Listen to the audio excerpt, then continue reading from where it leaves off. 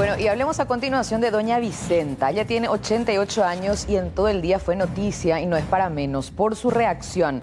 Fue víctima de un ladrón domiciliario ya en dos ocasiones y ella lo reconoce justamente como el autor de estos dos casos.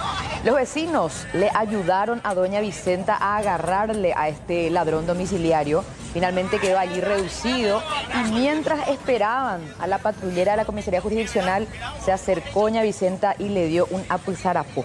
Muchos se van a sentir identificados con la reacción de esta señora porque ella no fue víctima de la inseguridad, ya sea por hurto domiciliario, asaltos, despojos. Bueno, la sensación que le queda a uno es ir por lo menos a hacer lo que hizo doña Vicenta. Estamos viendo. Le corrigió, entre comillas, a este delincuente que no solamente le hizo a ella de víctima, no solamente le afectó a ella por ingresar, y no, hablamos solamente de perjudicarle con llevarse cosas de la casa, sino que de